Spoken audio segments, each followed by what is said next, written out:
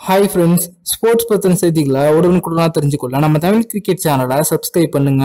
இங்கிலாந்தில் நடைபெற்று வரும் இந்த உலகக்கோப்பையில தற்போது இருக்கிற புள்ளிப்பட்டியல் நிலவரப்படி பாத்தீங்க அப்படின்னா ஒரு முக்கியமான ரொம்பவே ஒரு ஆபத்தான அணி அரையிறுதிக்குள்ள எட்டுமா எட்டாதா அப்படின்ற ஒரு பெரிய சந்தேகம் வந்து எழுந்திருக்கு. அதற்கான காரணம் என்ன? அந்த அணி எந்த அணி அப்படின்றத பத்தின முழுமையான விவரத்தை பார்ப்போம். இந்த இரண்டாயிரத்தி பத்தொன்பதாம் ஆண்டுக்கான உலகக்கோப்பை இங்கிலாந்தில் நடைபெற்று வருகிறது. தற்போது நிலவரப்படி புள்ளி வரிசை பட்டியலில் பாத்தீங்க அப்படின்னா முதல் இடத்துல நியூசிலாந்து அணியும் இரண்டாவது இடத்துல ஆஸ்திரேலிய அணியும் மூன்றாவது இடத்துல இந்திய அணியும் நான்காவது இடத்துல உலகக்கோப்பை நடத்தும் இங்கிலாந்து அணியும் இருக்காங்க.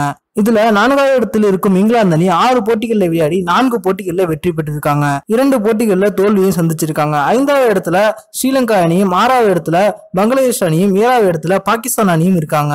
இங்கிலாந்து தான் அடுத்து விளையாட போற மூன்று லீக் போட்டிகள் பாத்தீங்க அப்படின்னா டேபிள்ல டாப் த்ரீ இடத்துல இருக்கிற நியூசிலாந்து ஆஸ்திரேலியா மற்றும் இந்தியா. இந்த மூன்று அணிகள் கூட தான் அவங்க விளையாட இருக்காங்க. இந்த உலகக்கோப்பையில இந்த மூன்று அணிகள்லாம் ரொம்ப ஒரு வலுவான ஆபத்தான அணியாகவும் இருக்காங்க.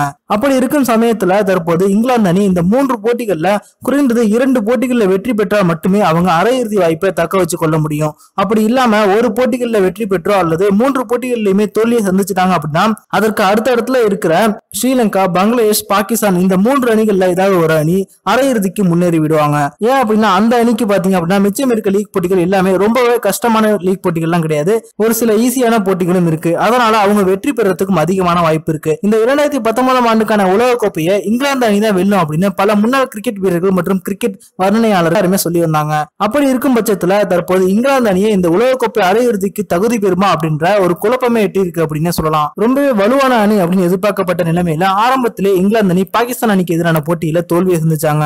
தற்போது ரொம்பவே ஃபார்ம் அவுட்ல இருக்க ஸ்ரீலங்கா அணிக்கிட்டையும் அவங்க அதிர்ச்சியான தோல்வியும் சந்திச்சாங்க. இந்த இரண்டு தோல்வியின் காரணத்தினால தற்போது அவங்களோட அரையிறுதி கனவு அவங்களுக்கு நிறைவேறுமா அப்படின்ற ஒரு பெரிய சந்தேகத்தை ஏற்படுத்தியிருக்கு. அதே போல லீக் போட்டியில் முடிஞ்ச பிறகு எந்த நான்கு அணிகள் இந்த உலகக்கோப்பைக்கான அரையிறுதிக்கு தகுதி பெறுவாங்க அப்படின்ற உங்களோட கருத்தை கீழே கமெண்ட்ல லீவ் பண்ணுங்க. இந்த வீடியோ உங்களுக்கு பிடிச்சிருந்துச்சுன்னா லைக் பண்ணுங்க ஷேர் பண்ணுங்க. நன்றி.